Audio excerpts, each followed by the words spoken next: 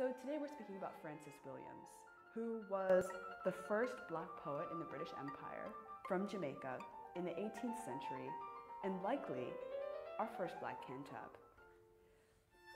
Francis Williams was the child of free plantation owning slaves, which were able to support him coming to Cambridge in the 1720s. There's a bit of mystery about Francis Williams's life. It's actually said that the second Duke of Montagu supported him to come to Cambridge as a part of a social experiment to demonstrate that black individuals, when given the right education, could match or even surpass the intellectual achievements of whites. The difficulty with this story is that although it's often repeated, it's not actually well corroborated with documentation or evidence. This issue of mystery follows Francis Williams all through his records. There's not particular records that we can reference of matriculation or graduation. In fact, we don't even know what subject he studied or what college he was in.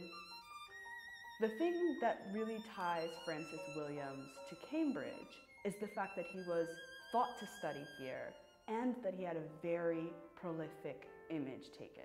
The painting itself, this rich, illustrious painting, demonstrates the man's wealth.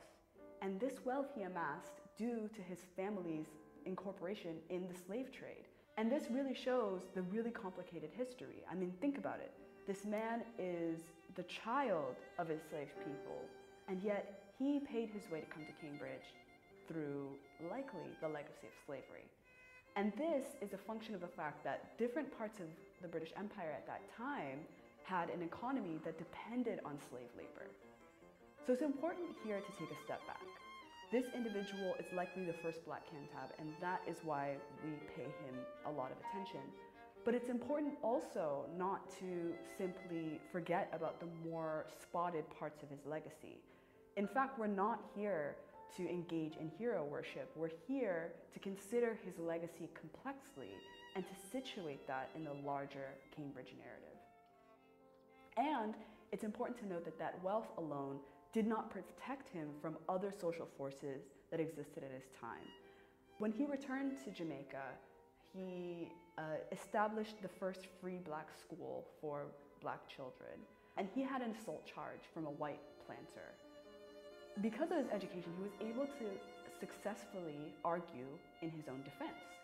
And this threatened white lawmakers and plantation owners, who then changed the laws in order to forbid black people from defending themselves from charges that involved white people. The challenge with that is that it shows that regardless of the amount of wealth he had, he still experienced at least some degree of, of social stigma because of his race.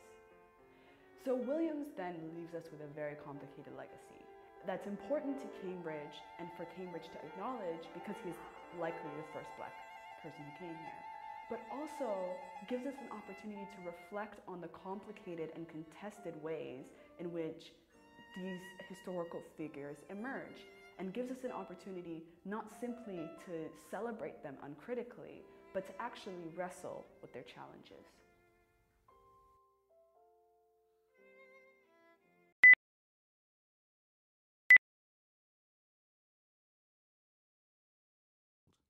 British ports and trading centres had profited vastly from the commerce in people and from the trade in slave grown goods. Equiano's relatively happy fate was untypical. Brutalized lives and premature deaths were the destiny of most slaves. Yet Europeans had traded with black people for many centuries before mass enslavement began.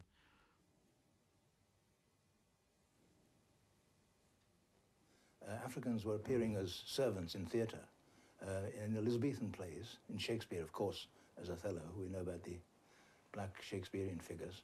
But very many uh, poems were written between oh, 1600 and 1640, 1650, about black mistresses.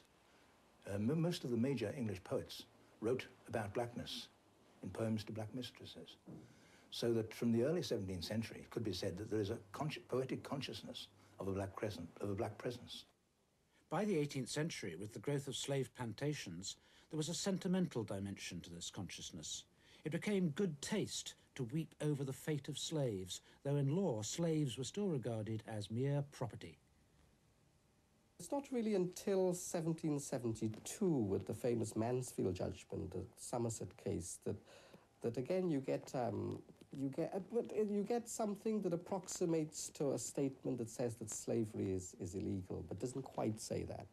Uh, what the Somerset judgment uh, amounted to was that whilst blacks were still slaves in this country, they could not be forcibly removed and sold in the West Indies. So it was a kind of a compromise. And in fact, in spite, although a lot of black people at the time thought that the Mansfield judgment liberated them, if you read the newspapers, you see that blacks are still being sold in coffee houses, etc., and slavery goes on.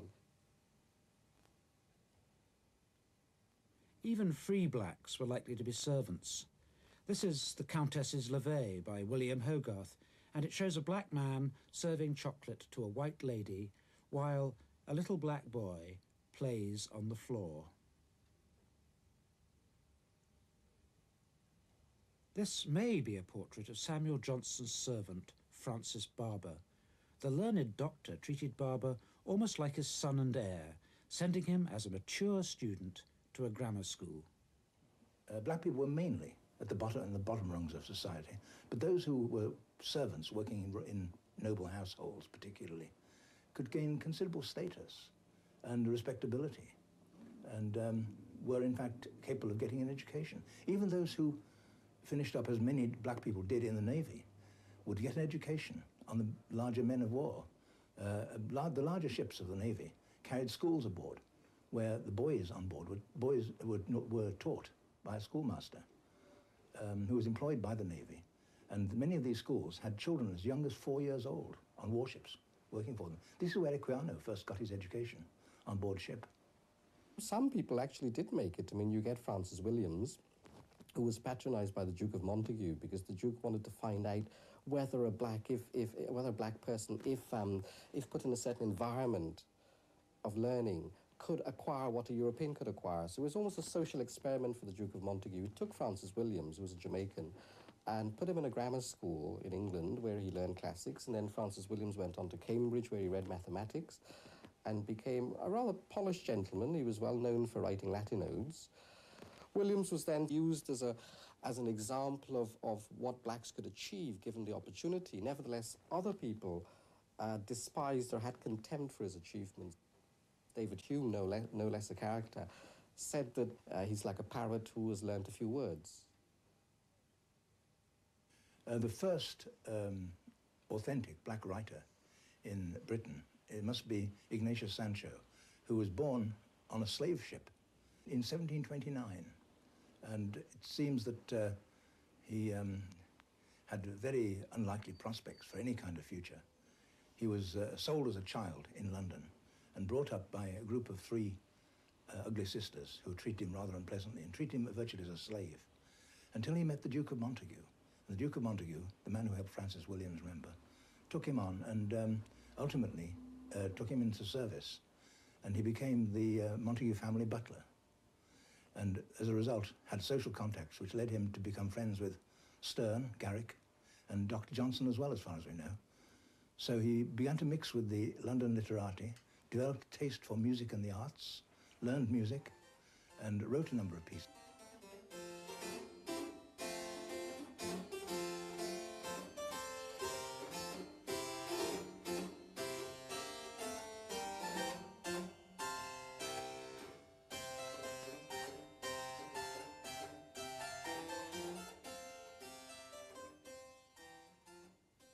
Equiano started off quite differently. Equiano was born in, um, in, Af in Africa. He was an Igbo, and um, he was kidnapped at the age of 11 or 12 and um, experienced the horrors of slavery for many years, but was fortunate, you might say, well, fortunate in a way, he calls himself fortunate in this, in being bought by comparatively benevolent masters and serving in the, in the Royal Navy over many years, was able to get an education at school. He was also sent to school when in, in harbour by his master and was also looked after by his master's uh, relatives who also sent him to school and gave him personal instruction. I had long wished to be able to read and write, and for this purpose I took every opportunity to gain instruction, but had made as yet very little progress. However, when I went to London with my master, I had soon an opportunity of improving myself, which I gladly embraced. Shortly after my arrival, he sent me to wait upon the Miss Guerins, who had treated me with much kindness when I was there before, and they sent me to school. Equiano was an Igbo, a Nigerian Igbo, and tells us that his 12 years as a child in Igbo is fundamental to his whole life. All that he learned as an Igbo, he says, um, governed his conduct for the rest of his life. And it's interesting that uh, certain of his problems probably are rooted in his memories of Igbo. For example, the Igbo word for master also means something very much like father. And so Equiano, whenever he has a master, sees him as a kind of father. And uh, it, paternalism in Equiano is much more complex than the pejorative use of the word suggests. Equiano became particularly fond of the captain of the ill-fated ship Nancy, who helped him buy his freedom and who died at sea. Every man on board loved this man and regretted his death, but I was exceedingly affected at it, and I found that I did not know till he was gone the strength of my regard for him.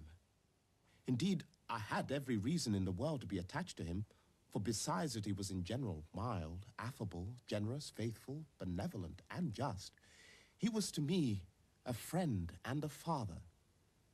And had it pleased Providence that he had died but five months before, I verily believe I should not have obtained my freedom when I did.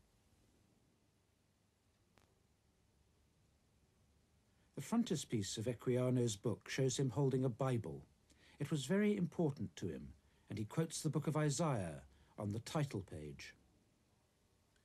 Behold, God is my salvation. I will trust and not be afraid, for the Lord Jehovah is my strength and my song. He also is become my salvation. Equiano had great faith in providence, both Christian and African. In Igbo, there is a, a belief in, a figure, in a, an individual spirit called the chi, um, which um, governs one's life, a rather ambiguous spirit. And Equiano would have been brought up to believe in this chi. And um, he became, at one point, he became, um, he was baptized into the Anglican Church but left the Anglican Church later in his life and um, became a Calvinist. And I suspect that behind this Calvinism is his belief in chi, because uh, fundamentally, uh, the Igbos are providentialists and believe that one's life is governed by this personal spirit. Equiano speaks in these early chapters of being destined. And the sense of the personal destiny is there in the idea of the chi, which I think, I think it's an Igbo idea. The Igbos have two proverbs completely contradictory, as Proverbs often are. One of them says, um, no man can wrestle with his chi. That is, you're under the control of your personal fate. Another proverb says, if a man says yes, his chi says yes. That sounds like Equiano to me. As I was from early years a predestinarian, I thought whatever fate had determined must ever come to pass. And therefore, if ever it were my lot to be freed, Nothing could prevent me, although I should at present see no means or hope to obtain my freedom. On the other hand, if it were my fate not to be freed, I never should be so, and all my endeavors for that purpose would be fruitless. In the midst of these thoughts, I therefore looked up with prayers anxiously to God for my liberty. Equiano's faith in God's providence was rewarded with success all his life as a slave, uh, he'd been attempting to buy back his freedom by petty trading. He was sold by his original master at the age of 19, sold back to America, where he was bought by a Quaker who gave him the right to do petty trading on his own account on voyages. And he would buy small things. On one occasion, for example, he bought a few tumblers and sold those. Then on the next journey, he bought some gin and sold some gin to put in the tumblers and slowly built up, accumulated quite a considerable sum of money as a slave and was able to buy back his freedom. In the 1780s, Equiano's status rose sharply. He was appointed as commissary for stores on an expedition to resettle freed slaves in Sierra Leone. By this time, he was writing his book, which was published in 1789. It was a bestseller, and Equiano became an important figure in the abolition movement. The first great leader of the movement was Granville Sharp, who fought a number of lawsuits on behalf of Africans. Equiano first met Granville Sharp in the 1770s. And in the 1780s, he was obviously visiting Granville Sharp and uh, helping him with the Granville Sharp's work towards abolition. It was Equiano who reported the terrible Zong case, where 130 or more slaves were thrown overboard and drowned for the insurance. The slaves who had fallen ill were thrown out because insurance could only be claimed on a drowned slave, not one who had died of illness. Remembered years later, it inspired this painting by Turner. The cruelty of the slave trade was Equiano's main target. He also hoped for the abolition of slavery itself, but his attitude to it was formed by his background in Africa. Equiano, remember, was brought up in a slave-owning society by his father, who was himself an owner of slaves.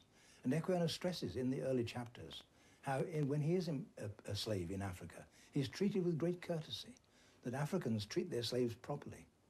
And he, his, the great pressure of chapter 5 of Equiano's book is towards the alleviation of the misery of the slaves rather than the abolition of slavery. You stupefy them with stripes and think it necessary to keep them in a state of ignorance. And yet you assert that they are incapable of learning. Why do you use those instruments of torture? Are they fit to be applied by one rational being to another? And are ye not struck with shame and mortification to see the partakers of your nature reduced so low? But above all, are there no dangers attending this mode of treatment? Are you not hourly in dread of an insurrection? The fear had a very real basis. In the New World, slave revolts were frequent and they were savagely repressed.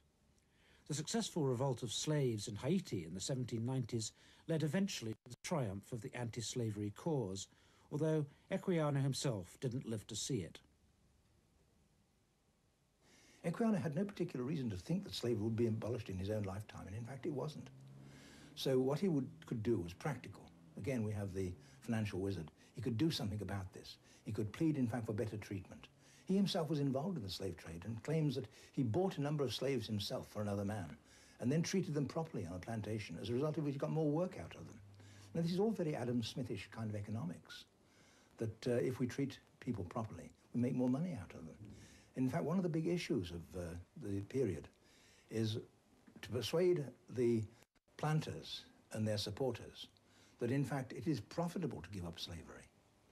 Uh, if you persuade people that uh, benevolence could go hand in hand uh, with, with advantage, financial advantage to yourself, you had a much better case for abolition.